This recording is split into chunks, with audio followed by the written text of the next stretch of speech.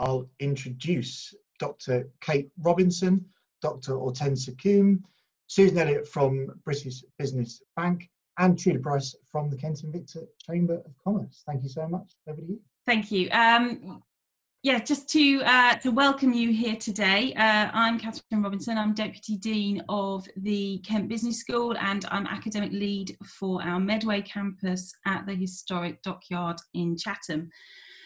So um, I'm kicking off this morning, uh, and I'm going to focus on those halcyon days when all we had to worry about was Brexit. Um, I'm going to start by highlighting um, the the kind of the national level. And I think it's important that we reflect on where we're going as a nation um, in terms of what we're looking to achieve.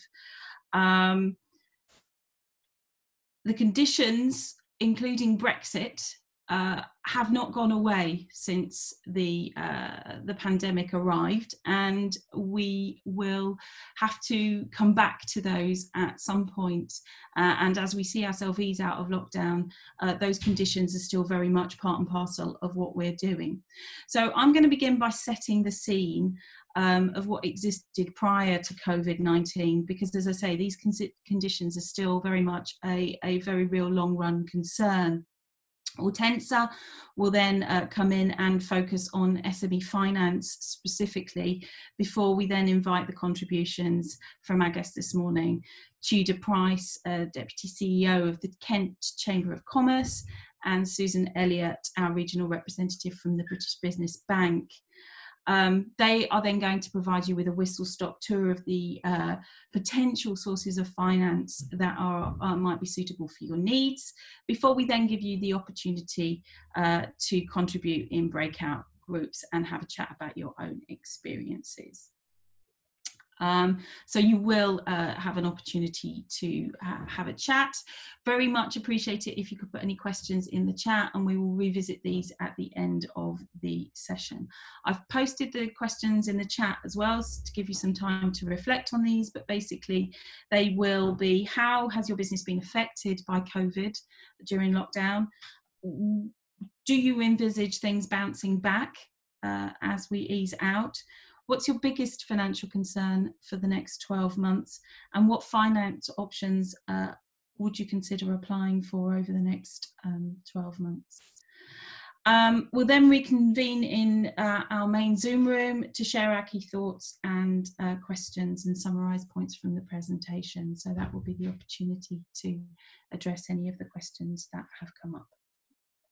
Okay, so if we begin with uh, the domestic picture, uh, we see that the UK has recently revamped its industrial strategy and put greater emphasis on industrial strategy, putting innovation very much at the heart of its productivity ambitions. Um, the industrial strategy talks about these grand challenges that uh, are likely to cross boundaries in terms of firms and uh, and industries. Artificial intelligence and data very much part of the fourth industrial revolution. The aging society and what that means for our workforce.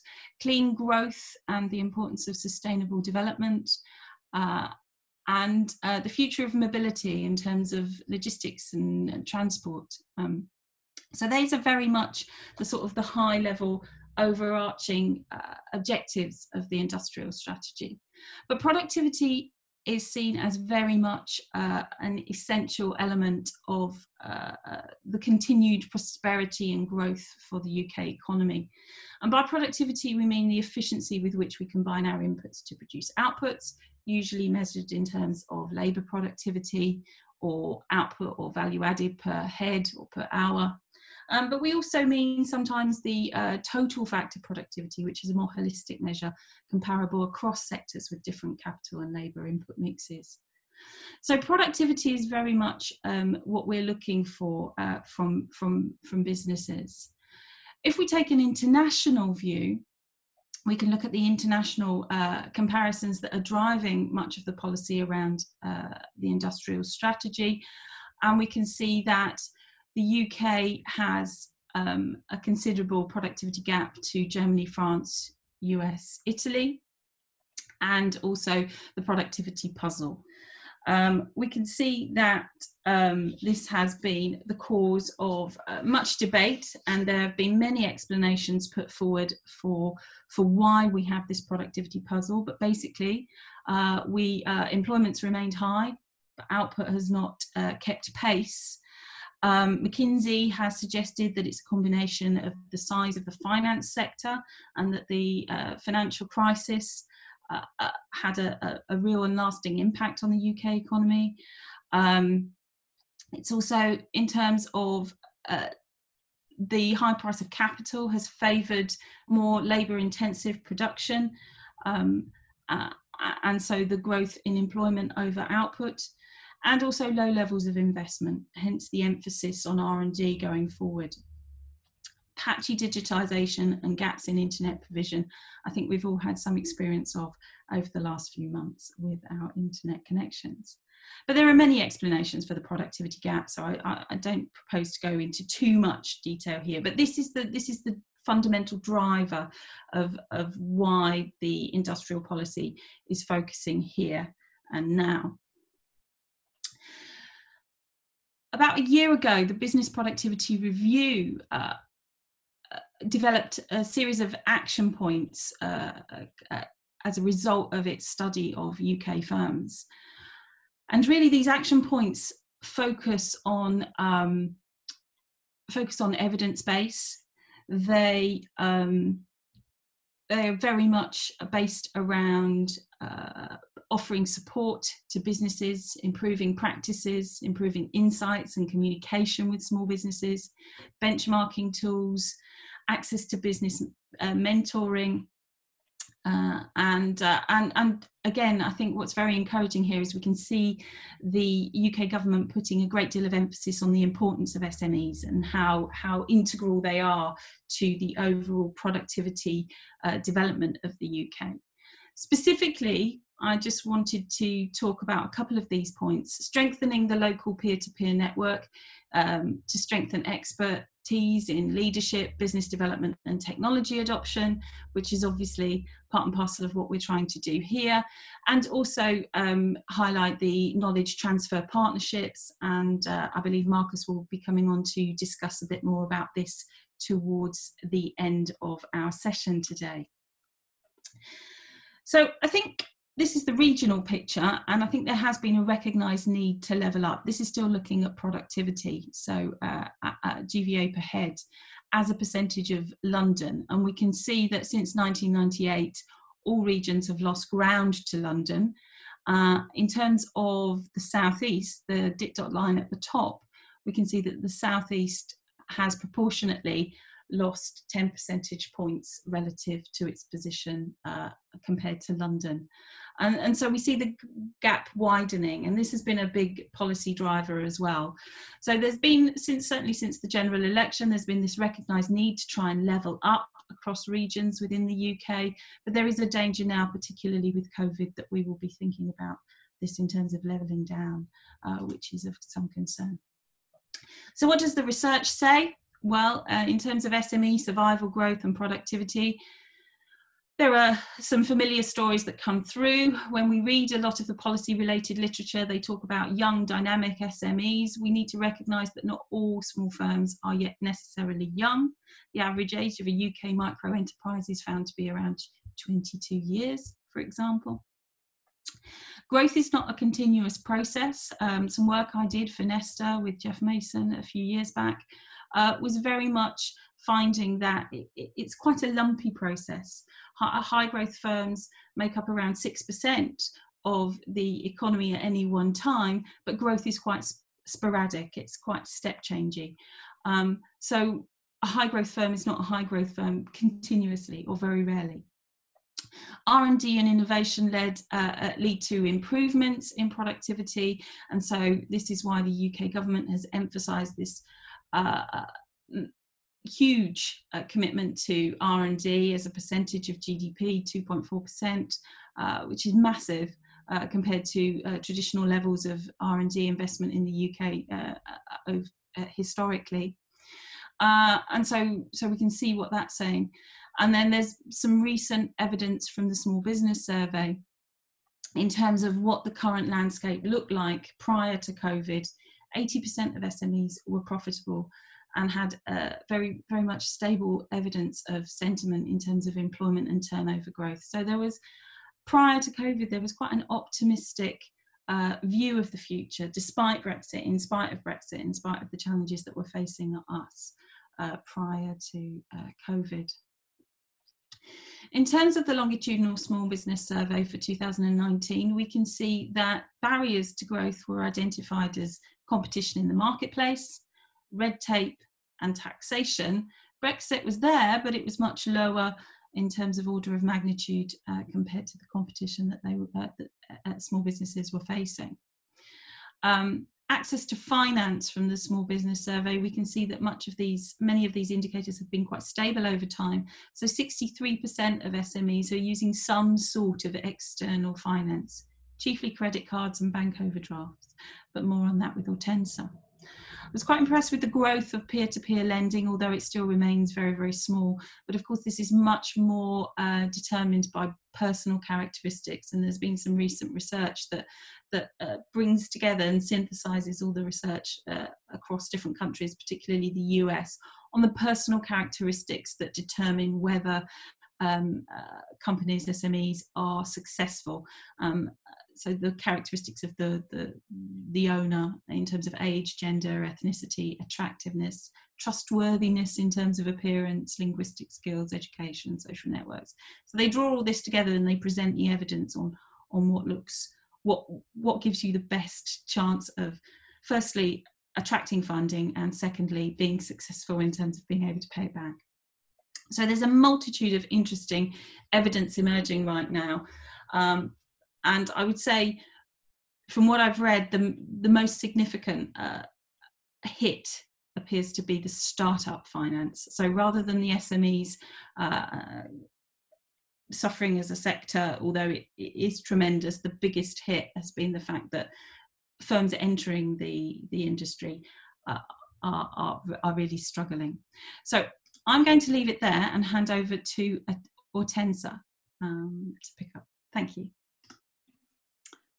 Thank you, Catherine. Um, I think you have touched on most of the things, haven't you? Most of the issues that the SMEs are facing. So um, let me see if I can go quickly back. I'll pick up, uh, my name is Hortensa Kuhm and I'm a lecturer in finance. Um, my main research interests lie in the area of capital funding. And I've done some research regarding uh, the impact that different businesses had, especially in Germany, UK, and France after the financial crisis. So it comes natural to me to start with the SME financing choices, especially after the crisis when they had it really tough.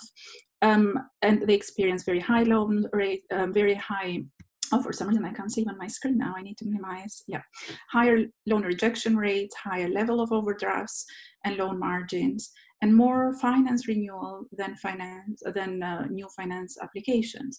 And the academic studies, especially in the area of corporate finance and entrepreneurship financing, have found out that there are a few factors that have a huge impact on the success of SME raising funds. And these are size. I mean, if we are thinking about SMEs, we have to distinguish among three, uh, among three main categories, which are basically the medium companies, the small companies, as well as the micro companies. And this is where we see most of the problems, the micro companies, where most of the enterprises, where most of these enterprises are basically owner slash manager run one single owner manager run. So these will be uh, or these were especially after the crisis the ones that were facing most of the challenges in terms of financing but another issue that SMEs face when it comes to raising finance is not having enough collateral. Uh, more recently, in uh, the literature review, uh, of different academic studies, we have found that the manager's characteristics and behavior seems to be some of the factors that are driving the decisions regarding different uh, financing options um, that uh, SMEs have. And uh, this was also picked up by Kate, I think, in the previous presentation that she gave us. So as a result of all these challenges that were faced by SMEs, especially after the 2007-2008 uh, crisis, UK government undertook a various policies. And one to be mentioned is that by the Enterprise Finance Guarantee Scheme, which was an extension of what we had for small uh, businesses fi uh, finance loans, but also the establishment and development of British Business Bank, as Susan probably will explain later on into more detail. Uh, very quickly, I've put together just an historical perspective in terms of um, the SME financing over the years based on the findings reported by British, uh, British Business Bank, um, a small businesses finance survey. And what you can pick up among those findings over the years is that most of these SME, um, owners and the managers of the SMEs, they do struggle to find the right advice in terms of raising the right uh, the amount of funding and in the right options that they want. And what these uh, surveys have also suggested is basically that most of the MSEs tend to rely heavily on short-term financing and more in terms of borrowing rather than equity. Only in, 2000, in the survey of 2017 2018, we can see that we have a larger proportion of SMEs who are using advice when seeking finance. But still, there is a fear of rejection, um, although that has declined by 2018. And uh, on balance, more SMEs on that particular survey are starting to think about their financing options and how that will be affected as a result of Brexit. And this is where the uncertainty kicks in and it continues even in the uh, findings reported in 2018-2019 uh, survey, where still one third of SMEs uh, thought obtaining equity or debt finance would be more difficult after Brexit. So the moment that the uncertainty kicks in, either it may be a political or an economical uncertainty, a cost uncertainty, that uh, this is where we can see the SMEs trying to uh, um, to find it more challenging in terms of raising more funding. And this is where they try to rely more on the use of very short-term um, um, funding options, such as, for example, credit card financing or leasing and hire purchase, and heavily relying in personal savings. This continues, this trend seems to continue also in 2019, 2020, where personal savings continue to be the main source of financing. And most of the MSEs tend to rely once again on some form of external financing, such as credit cards, overdraft, leasing, and hire purchase. Um, once again, we can't see most of the SMEs borrowing for long-term investment. It's mainly for working capital and for covering those short-term funding gaps. But what strikes me, especially looking at those findings over the years, is that the relationship that they have with the lender is the main factor that drives their decision in terms of borrowing. And we can see most of the MSEs tend to go to the same lender only because they, they know them better and they have established long-term relationship. And this is, is also um, reported even in the findings of 2019, 2020, when we can see that most of the borrowing is coming from the five biggest banks. Um, regrettably, only a small number of SMEs are aware of the role of the British Business Bank. So we are very fortunate today to have Susan, who is going to talk more about the role of the British Business Bank in uh, helping or supporting the SMEs in raising finance and accessing the right sources of financing. I'm bringing it a little bit closer in terms of the time period and looking more in terms of the COVID, um, the impact that COVID has had or is going to have in the economy. The first point that we need to make clear is that um, although we have seen a crisis in 2007, 2008, that was mainly affecting the financial markets. So basically we had a dry source of um, funds coming from the financial institution. But when we are considering the um, uh, economic crisis, mainly caused from the COVID-19, this we can refer to as a liquidity management crisis or as some studies already in um, America as well as in Europe are referring to as a high street or main street crisis. The reason being is because it's affecting mainly all the most of the businesses, but heavily is affecting the SMEs. Uh, if we are thinking about the stages of this crisis, we can start talking about the lockdown period, where basically we have a loss of income and sales. And most of the businesses, especially the SMEs, starting facing very high cash flow problems. So the, in terms of funding, we are still looking in those sources will help them to cover the working capital needs rather than investing for long term.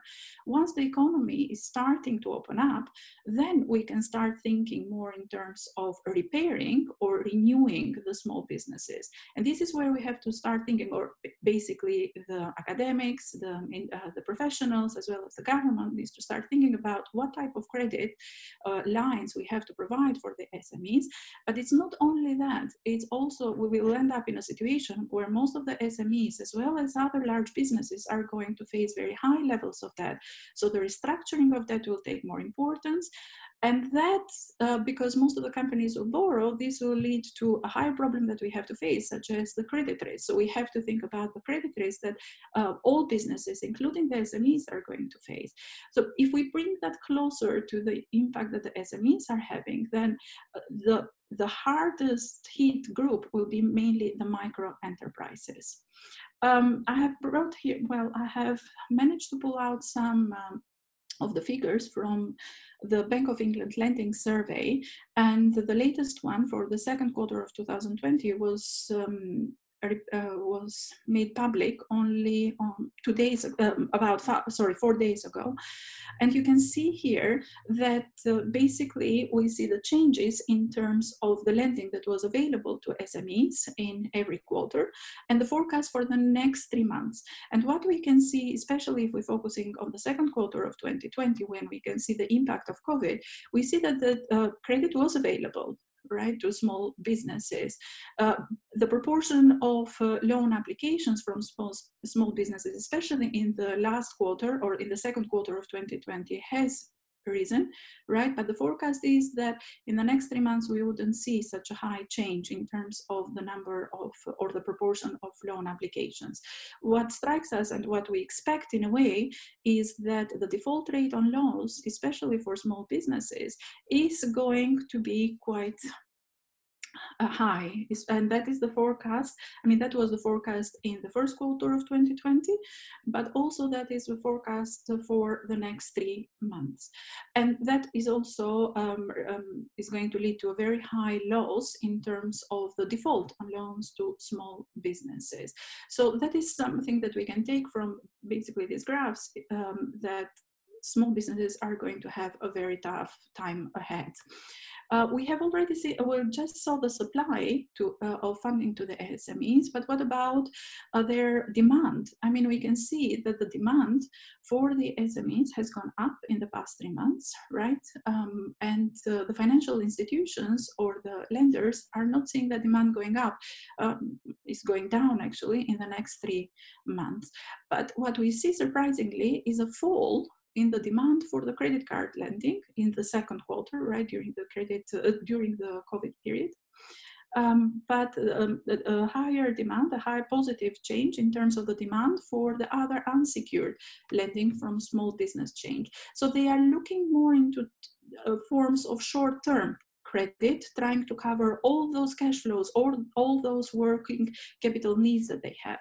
Um, um, just looking at one of the recent uh, economic surveys that was taken by uh, the Kent Invicta Chamber of Commerce, um, we find out that more respondents have reported worsening rather than improving cash flow. And once again, we're reiterating that fact that we are looking also at the Bank of England lending survey, that in the second quarter, uh, this worsening proportion doubled despite government mitigation aid for COVID-19, which some of the respondents were unable to access.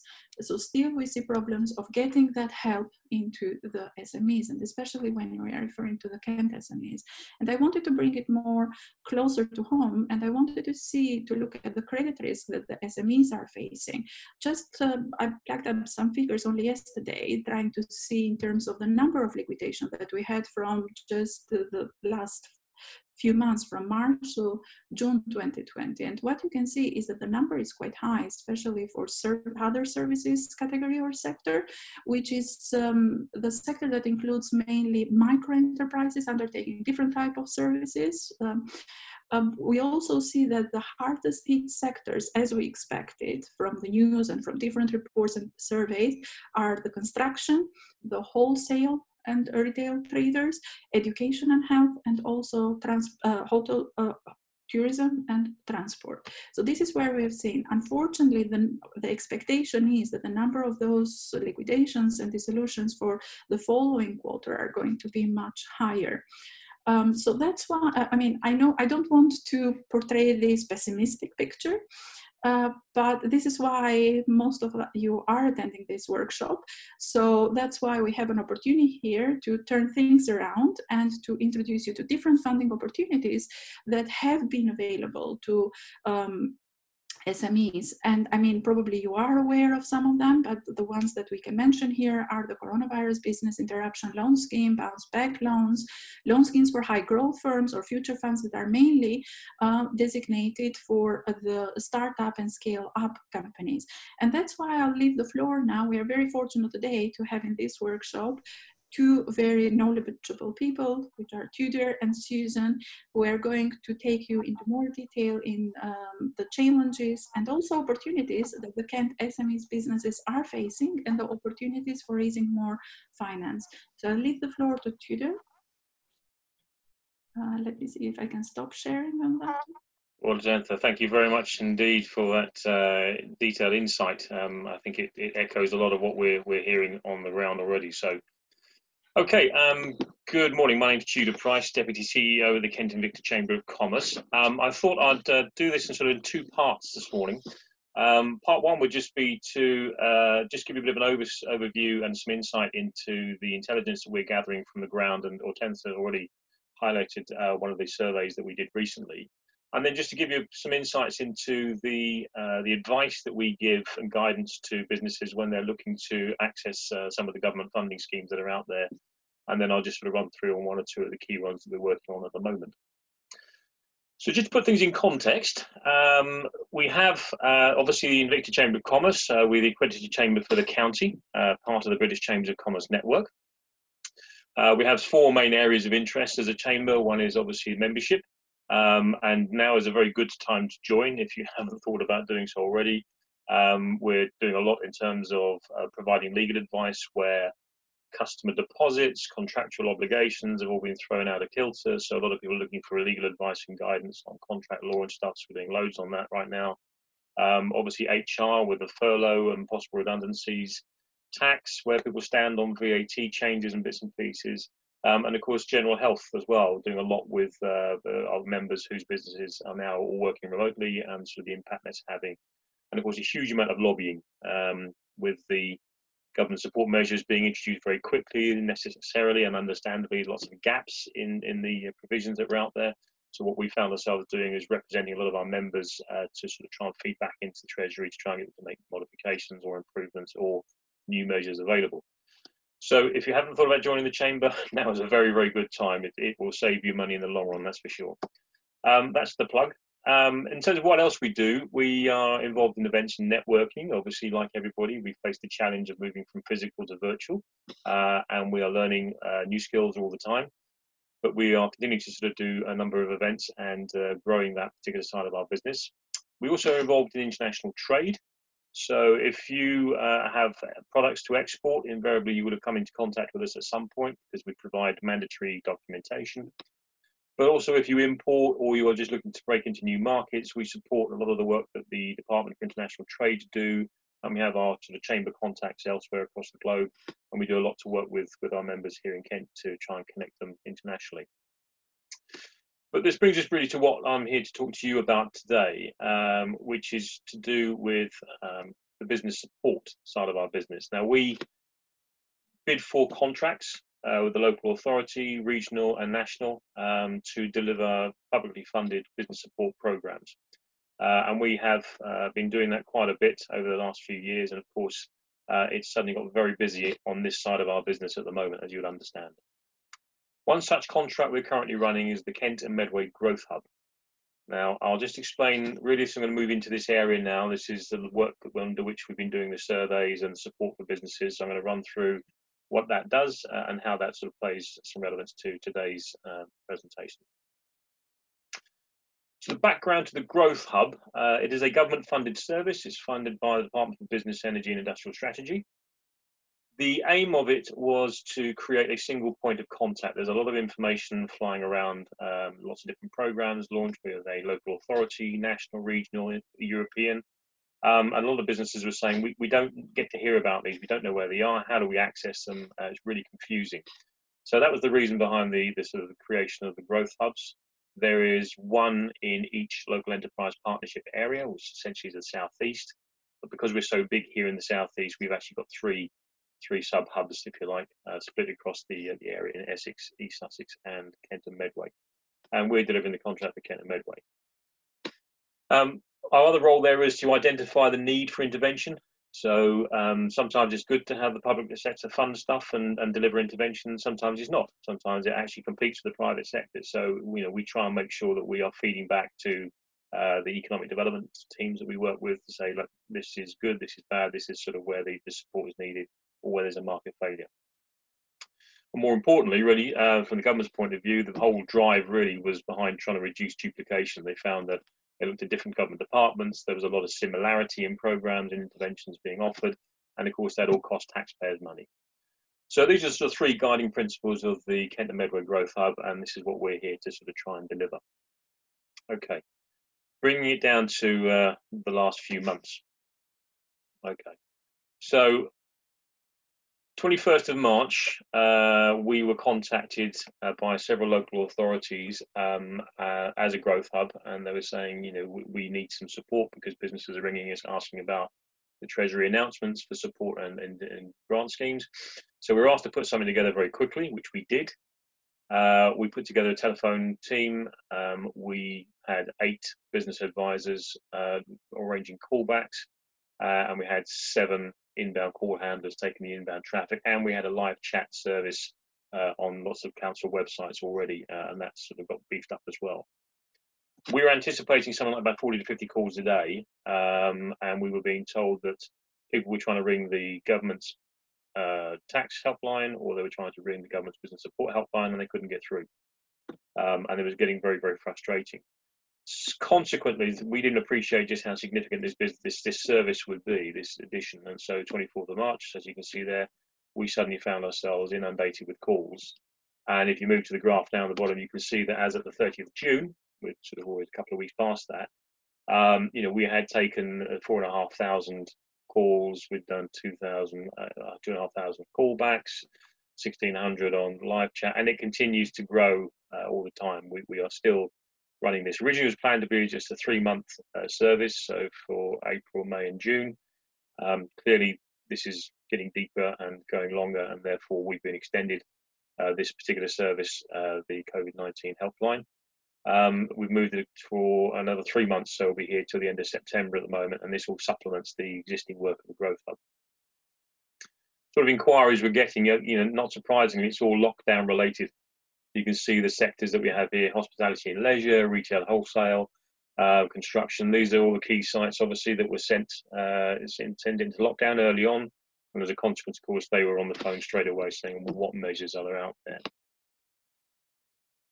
One thing that uh, we did as part of the telephone callback is we would actually survey the businesses. Um, so when the advisor rang someone back, they said, okay, we've got some questions we're going to ask you, which, which um, as Hortensius highlighted, we sort of added into uh, various other reports and surveys to try and provide real-time intelligence on what we're hearing from businesses on the cold front. And we continue to do that now, and we have some further follow-up surveys planned um, to revisit the, these businesses. Now we have, at the moment, when, when I put these slides together, we have over, over 2,000 businesses that we surveyed at the time. So it's a significant um, statistical data set. And these are just the headlines really that we took from it. Um, not surprising, 94% experienced a negative impact. I think we know that now. Uh, that was pretty apparent when we look at how big a hit the lockdown had and the closure of businesses. Generally, it was a very pessimistic view uh, at the time, 84% anticipated future negative impact. They, they couldn't see. Lots of them were working on the basis that the sort of three to six months of trading, that's roughly what they had. But we discovered actually very few of the businesses really had a handle on sort of the cash flow impact. One statistic which I always sort of trot out, which is that uh, that 89%, or it's 89.9% of the businesses in Kent and Medway employ under 10 staff. So that's a lot, a huge number of small and micro businesses. Now, what that does, that presents a very individualistic mindset. They don't have a financial controller, they don't have a finance director. And therefore, their approach to finance and to planning and cash flow and forecasting is very much sort of an individual's point of view. And so they bring with them the sort of attitudes and mindset they might have if they were, uh, you know, handling their own personal finances. And that might explain some of the, the sort of charts that was shared earlier around people's reluctance to take on debt and their mindset and their approach to debt and all the rest of it. So I think that statistic of 89.9% are under 10 employees or less. I think you know is is a significant uh, bearing on on how the business uh, community operates in Kent. Everyone took advantage of the furlough pretty much. Over three quarters of the businesses all decided to furlough staff straight away because it was seen as a great uh, lifeline and helped minimise some of the, the cash going out the door. And in terms of sort of the average loss per month, it was sort of anticipated to be about 37k, which uh, when you multiply that over sort of the 50, 60,000 businesses we have here in the county, that's a lot of money, had a lot of money. So it wasn't a great, um, a great prospect. Obviously, a lot of people were concerned, but you know, people could see that there was going to be some sort of um, some sort of trajectory, and hopefully, as lockdown eased, so we'd see things improve. So this was the journey that we observed over the period of the time. Um, there was an immediate exodus, and we've used that word uh, correctly because there was a sense, I think all of us will share that, that there was a sense of get out, get out of the office, get home. And that created uh, a, sort of a, an attitude and a, a behavior in people that was all about shutting down and getting home. And we saw a lot of events and activities and uh, processes being shut down that actually didn't need to be shut down. There was a sense everyone had to get home, and, and employers were, were responding to anxiety levels from their staff who felt they needed to be home and safe. And so there was this exodus, and people were dashing out, which which had an impact and continues to have so now. Dash for cash. Um, obviously, grant schemes are always appealing. Everyone likes a bit of free money, um, and so people went chasing after that straight away. Um, necessarily, um, these things were all imperfect, uh, which caused a huge amount of uh, disagreement and dissatisfaction. Uh, it was very targeted at those businesses that have been ordered to lock down retail, hospitality, leisure, businesses of a certain size, those that paid rates. And I think the general rule of thumb that you could take away from this was that if you had paid in, then you would probably get paid out. So if you're paying, doing your true tax returns, self-assessment tax returns, and declaring everything, if you were um, paying yourself a wage and not just a dividend, um, and if you were sort of paying your business rates at the right rate and you were classified correctly, then you probably stood a chance of getting something back. Um, if you were outside of the loop or had been tax efficient, uh, then unfortunately you found yourself uh, on the wrong end of the stick. Job retention scheme really, really popular. Uh, a lot of people saw that as an opportunity, a self-employment income support scheme as well. Um, although again, we did find, a lot of people had written off uh, and had sort of put their low, um, their returns deliberately low.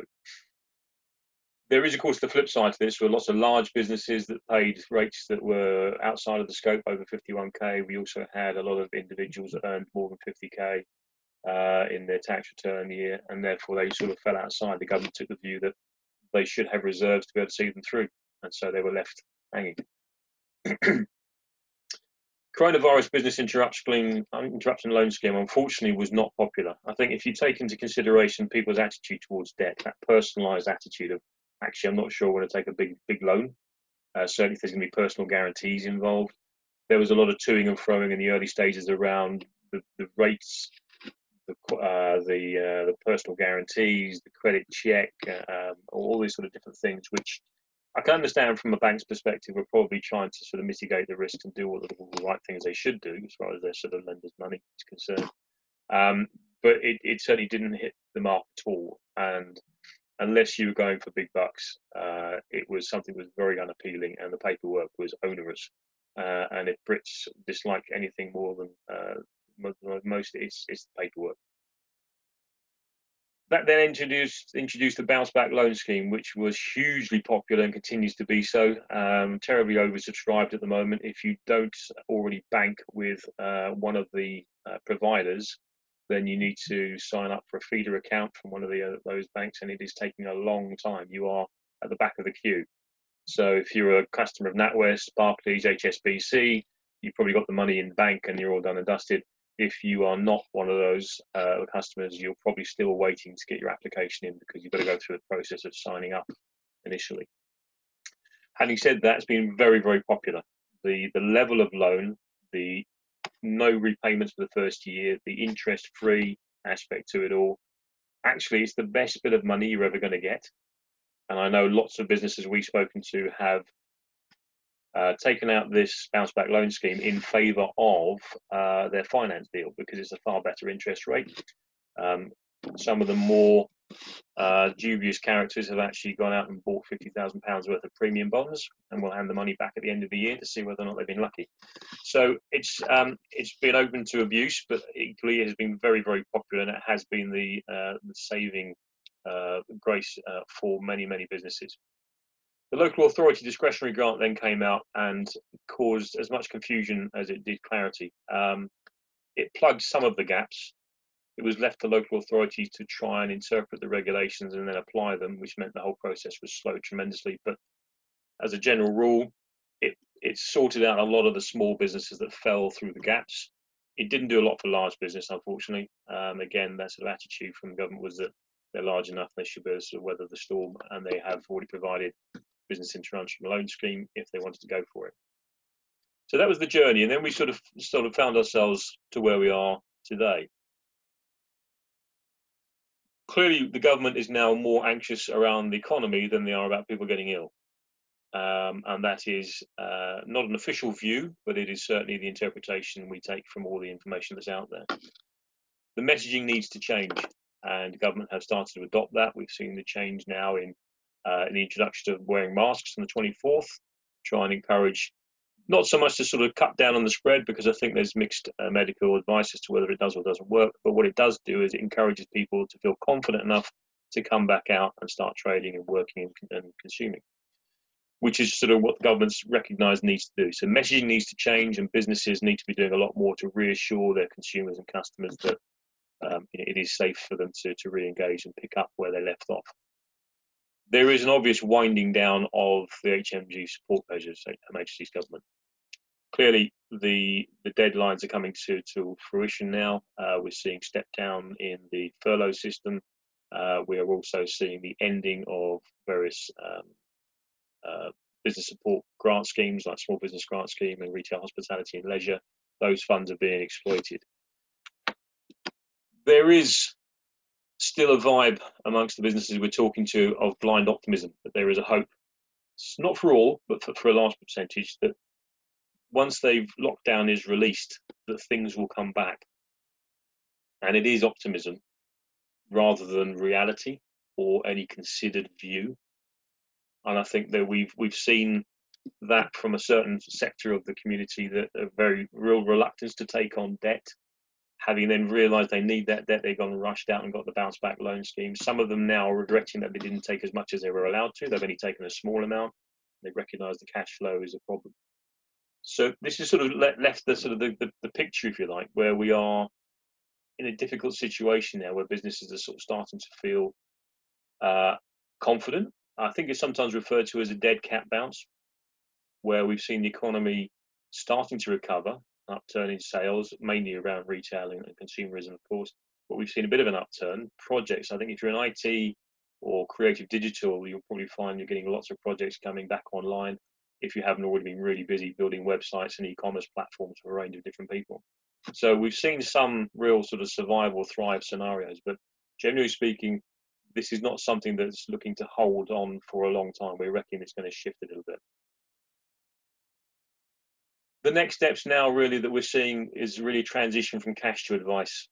Um, the government has shelled out uh, billions and billions, as we all know, and um, for those of us that have a P&L mindset, we're wondering how that's all going to get paid back at some point. But for now, we're seeing a transition from cash to advice. The, interventions now are going to be proactive. They're going to be from um, publicly funded institutions that will be offering advice, guidance, and support to try and head off some of the uh, some of the crashes that we're going to see from the, the, small business community. um, and trying to mitigate against some of the losses without throwing more money uh, into the well, which is where they're sort of concerned. And the government's message really now is about trying to trade our way out of the crisis. Um, I think they've they've probably got some more offers out there to, to come, but we don't see many.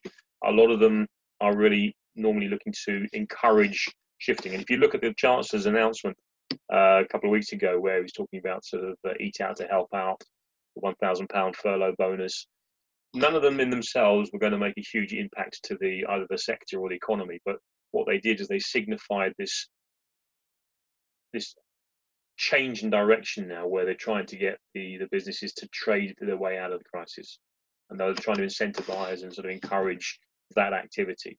Now, whatever the politics are behind it, I think there's clearly the message, and therefore that will shape the type of interventions that are coming forward. I think from my perspective, this is sort of what I wanted to cover off where we are and what we've gone through. And I'm just going to move to sort of a second part now. I'm just watching time. I'm still okay for a bit. Um, I just wanted to sort of touch on if you are going to go looking for grants or interventions, there's a few top tips really. And this is um, we at the Growth Hub, we don't always have access ourselves. We don't want the ones that necessarily issue grants, but we know who the people are we know what you have to do to apply for them. Therefore, you know, we, we always have some some top tips, if you like, to try and sort of help work on things. So I'm just going to run through a few of those now, and then I'll, I'll stop and hand over to our to our next guest speaker. Okay, first of all, if you're going looking for funding and it's publicly funded, okay, grants or otherwise, there is no such thing as a free lunch. Right? It's really obvious. Um, people aren't, you know, governments are using taxpayers' money. Therefore, they have a responsibility and obligation to use it wisely. So they're not going to give you money just so that you can uh, you can get rich yourself. They will want one of these things normally. Okay, if they're going to give you a grant, they're going to be looking for either a change in behaviour or to create some sort of economic impact. Now, if you consider the most recent set of government measures that we've had, uh, like furlough, like small business grant scheme, retail hospitality and leisure, they come under the creating economic impact. They were really about trying to make sure that jobs were safeguarded or created uh, and businesses were kept alive. Because that's really what we've seen. We're seeing a shift now where governments are trying to maybe change behaviour. So people talk about a green recovery. So you'll see there are grant schemes out there now which are encouraging. Obviously, we've seen about the domestic side about insulating a home we're going to see more about trying to maybe adopt more uh, home-based business uh, operations using uh, environmental friendly vehicles and just trying to sort of use use sort of green uh, green initiatives. So we'll start to see grant schemes and support schemes that need that.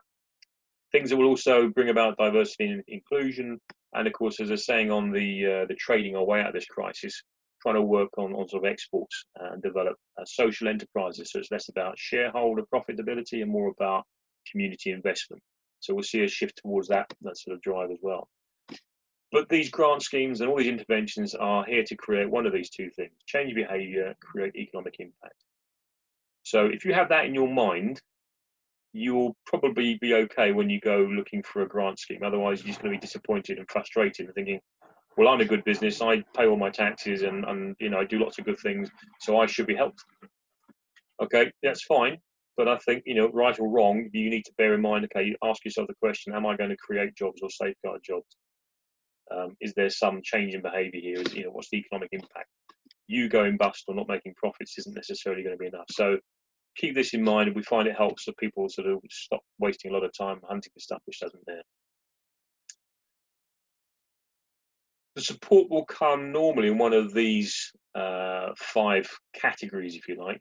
So either be grants or loans and the grants will tend to be either um, percentage match. So you might have to pay 70% of the project cost and a grant for the other 30%. What we'll see is that balance will shift because obviously the economic climate is what it is. So we'll probably see higher intervention rates for the, for the grants and loans um, than, than we have done in the past. And loans tend to be interest free. They'll sometimes create space, they'll invest in property, and we've already seen some of the large infrastructure projects being talked about at the moment. We'll see those come through fairly soon.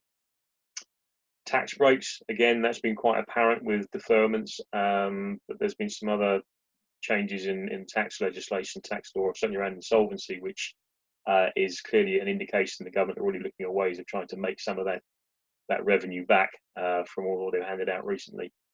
Lots of digital information, of course, uh, being made available, and face-to-face advice. This is either could be in the form of working with the university, so knowledge transfer partnership. These are all sort of face-to-face and, and, and advice uh, sessions, um, and that's sort of how the government will tend to bring bring these things forward. Okay. So where do you find this stuff? Well, um, Growth Hub, obviously, we have a website. Uh, you can either go for the short URL, which is askphil.biz, or you can go for the Kent and Medway Growth Hub.org.uk.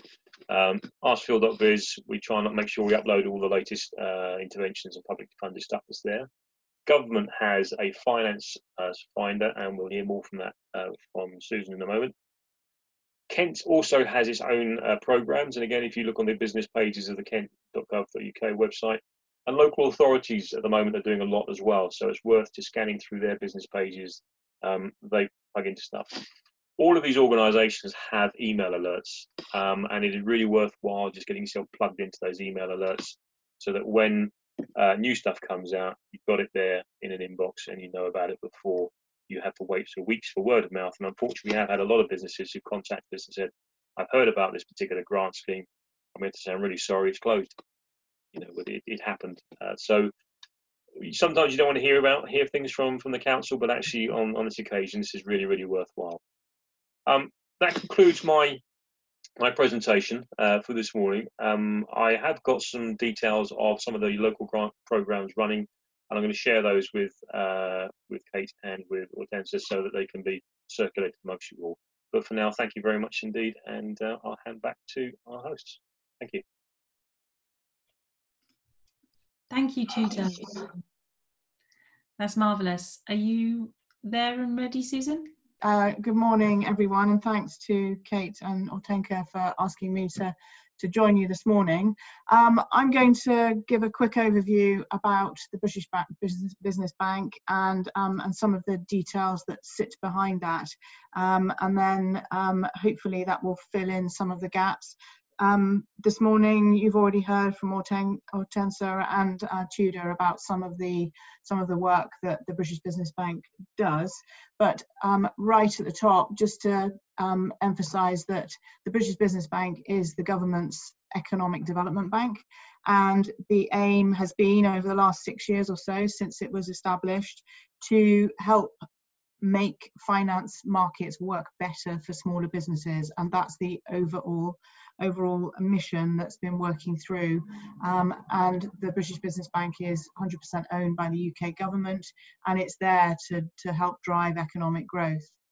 The, the group itself, um, the British Business Bank sits um, at the top of the, the group and underneath that, um, there are two commercial arms, the British Business Investments and British Patient Capital, and they make um, investments alongside institutional investors. And the startup loans you may well um, have come across or indeed um, used. And then there are some specific investment funds the Northern Powerhouse Fund, Midlands Engine, and Cornwall and the Isles of Scilly, and they're addressing particular geographical areas of the UK. So, in terms of supporting smaller businesses, um, Tudor um, quite neatly mentioned. And in Kent, you've got just nudging 90% of, um, of businesses have fewer than 10 employees. Um, and this, this accurately demonstrates why um, smaller businesses are really critical to the UK economy with over half of private sector turnover in those businesses. So that's that's the reason that the British Business Bank is focusing on on some of those SMEs. And in terms of the the objectives for the bank, um, it's really to increase the funding supply that's out there and to understand and help increase the diversity um, of funding mechanisms and reduce some of the regional imbalances. And um, that that's exactly what the financial instruments are doing and business investment increasing that and growth and jobs albeit right now we're in sort of survival through to recovery and into growth. But uh, um, at the end of the day those those overarching um, objectives still remain remain um, solid. In terms of increasing supply of, um, of funding, the startup loans was brought into the Business Bank um, family a few years ago, um, and that's mentoring and, and, and, funds to be your own boss. And they are managed through um, a separate um, a separate organisation. Um, and I would encourage you, if you fit into that, if you're less than two years old in trading, then have a look at that um, in terms of a, source of, of finance and support that goes with it. That middle section on the screen there represents the, the matched um, funding through together with institutional investment um, and there's been a number of um, investments made one this week was british business patient capital um, investing in um, one of the life sciences um, funds to look at new ways um, and, and, new approaches to certain disease areas. And then what's been talked about this morning quite a bit is the, the right hand side there is different funding options and, and, and choices of providers. And um, Hortense mentioned earlier about uh, um, initially the British Business Bank had the enterprise finance guarantee schemes and others, and they've sort of evolved and morphed into some of the schemes that are, are there right now, which very rapidly came into being um, in the um, towards the latter end of, of March. And, and with that, um, just to give you the, the numbers as of this week, these are Sunday, Monday's numbers, and we can see that just under 48 billion pounds worth of loans have gone out to over 1.1 million businesses in the UK. And there's been a real dramatic shift in terms of what the British Business Bank has been doing. Um, in the years 2018-19, for example, supported loans through BBB was about seven, just over seven billion. And as you can see there, they are, it's now just under 48 billion. So a real shift in terms of how smaller businesses are supported. Tudor mentioned that when the coronavirus business interruption loans first came out, they didn't meet the needs of many businesses and Treasury government through the through the bank actually responded to that and that was when bounce back loans came out. And they have been far and far and above the the most used facilities. Uh, 30 just under 33 billion has gone out to um, 1.08 um, million smaller businesses. So a real um, a real important facility that has allowed um, businesses or as many businesses as possible as the chancellor says not all businesses will will survive. And those liquidations and um, and dissolutions that uh, Hortenka just mentioned demonstrates that. But hopefully those loans will support as many businesses as possible. And then the future fund is the fourth um, program. And that's convertible loan notes that convertible into shares at some point in the future. So um, 468 million pounds worth of those have gone out through to 465 co uh, companies. So again, that's that's a, a different type of um, funding that's gone out.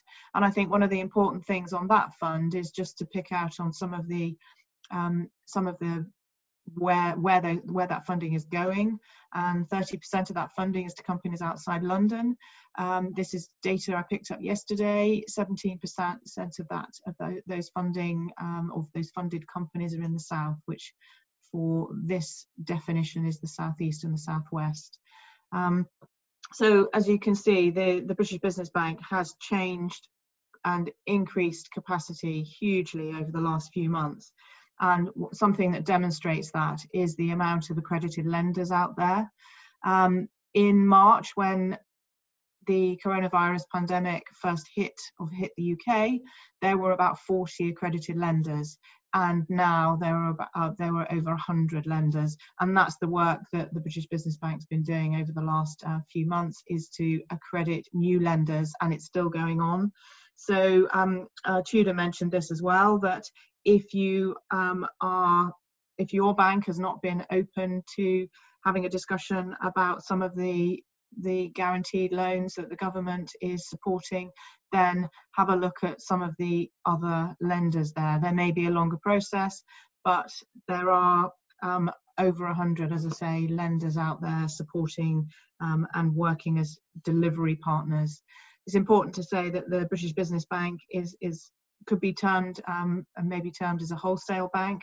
So we devolve all responsibility for lending and managing the, the, the loans through to businesses to our funding delivery partners.